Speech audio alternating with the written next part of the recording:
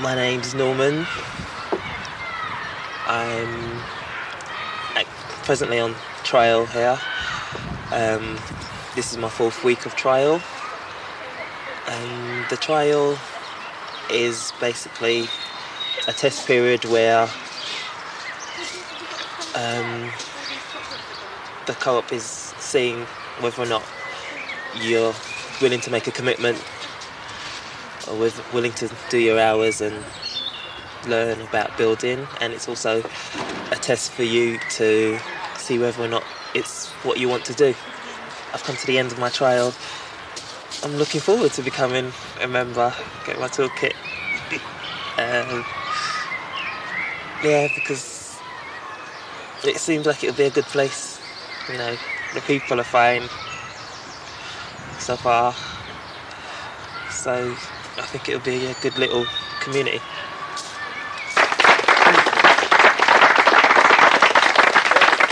Well, I, I'm Seth Johnson of Chisel, and I'd like to say congratulations to Fusions Jameen to the first black self-build in London, and also congratulations to your courage in actually taking on this high-risk thing of building a house. Now, I speak from personal experience because I'm a, a self-builder too on Green Street, and some of my colleagues are here to help raise the frame today. It's a very difficult thing to do. It's a big investment. You're investing in your time, and I fully support and congratulate you on doing that. But what better example have you got, the people who are building here today, than seeing what's already going to happen this afternoon, the opening of the first self-built black housing co-op in London. And so I'd like to say congratulations. I've noticed on the invitation, and if you'll excuse my pronunciation, big things are going. but with your help, bigger things are going. Thank you very much.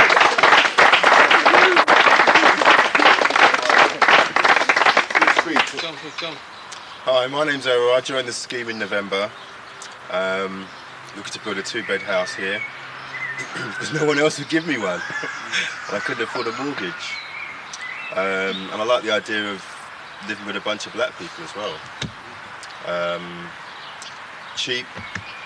I could do my own thing with the house. Um, yeah, it's a, a dream come true in some ways.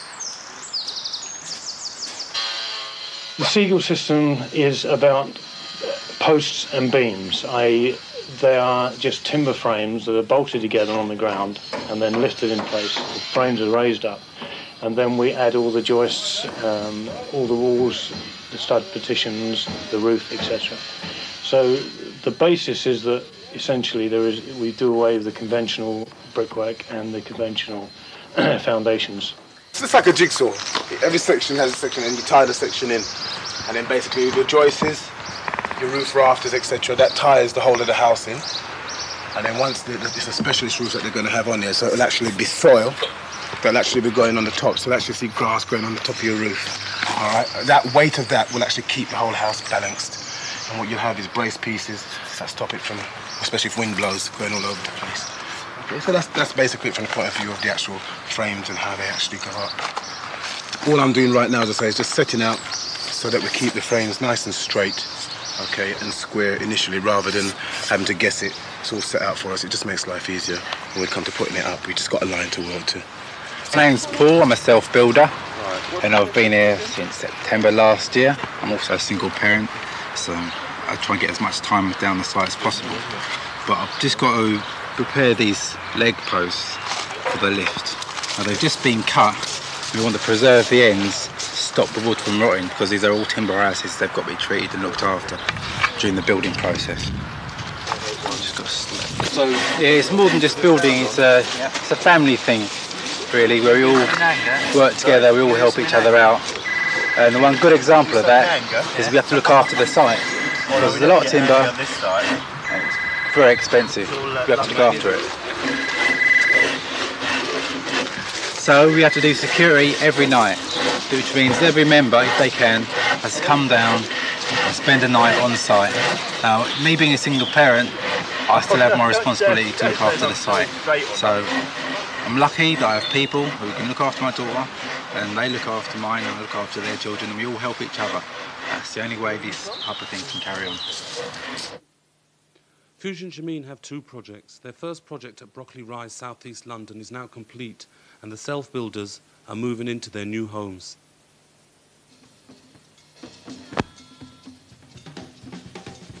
It's actually been running for about three years. How did you get involved? Um, I actually read. I actually read about it in the South London Press. Um, I rang up and they sent me some details and bingo, here Why I did am. you decide to build your own house? Because the council. Well, I've got a son, as you can see, and he's like nearly three. Um, I asked the council for transfers and they wouldn't transfer me because I'm actually living in a one bedroom flat right now. Um, no central heating. And, um, the council just wouldn't move me and they won't come and do the repairs either. My son's asthmatic. He's been in hospital about three times through the dampness and everything. So this was seemed like my only way out and here I am. Have you had build experience before? None whatsoever. So you came here A novice. Yeah.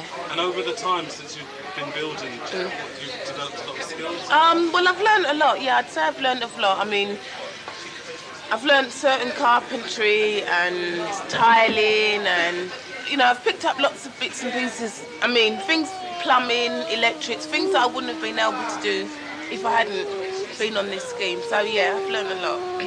How do you feel about your house now? It's How do I feel about it? Um, I'm pleased that it's nearly all over and everything, but because I've put so much effort and time into it, I can't actually appreciate it right now because I'm just too, you know, because I've just put the work into it, so you don't actually appreciate.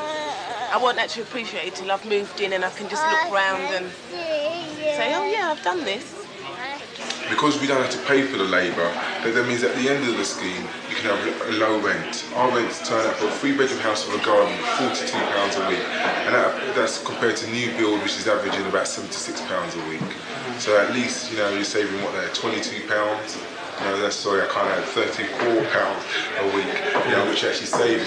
On top of that, if we build on time, which we're definitely going to do on, on our second scheme, if we build on time, then part of your rent goes to building up a fund, which is called a premium, a labour premium. And after three or four years, each self builder will be entitled to about £10,000, you know, as, as a reward for their labour. So what that then entitles them to do is they can either leave the co-op and go and buy somewhere else if they want to. They can leave the co-op, go and set up another self-build scheme, and share the ownership, or you know, instead of co-op and use the money to improve their houses. You know, so I mean, th- th- that's there, but that's dependent on people building on time.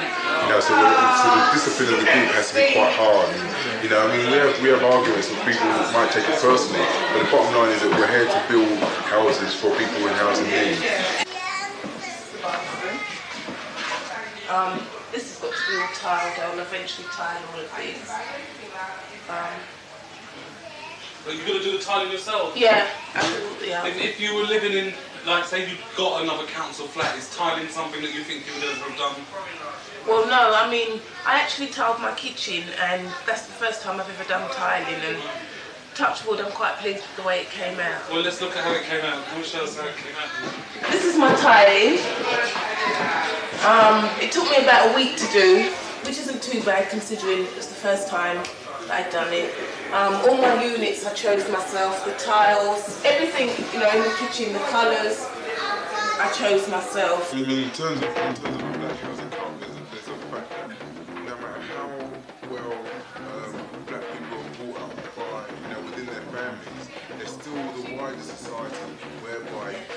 Black people underachieve. You know, and, and um, as an individual, people may determine the fact that it might be due to the individual black people not necessarily be aware of the wider structures that prevent people from achieving what they can. In this co-op, every single child sees that their parents can build a house, whether a single parent or you know a pair of couples together. They know that, so there's no there's no doubt within them that they can achieve what they want. They're also brought up with other black people and see the whole gamut of black people that are here. We've got we've got a mechanic, we've got youth workers, we've got theatre people in the theatre, we've got teachers, we've got uh, you know housing workers, the whole thing. So you know, there's no no two ways about it. They they can clearly see, you know, from from the day that they're actually living there, that things can be achieved. But the, the underlying thing is that they can be achieved when people work together, and that goes beyond the fact that they're race. That, that, that, tackle, that tackles the fact that the women are building as well. So that, you know, you look at the idea that women can't do things, and they can. They're building housing. You, you're here now, you see high quality housing that's been built.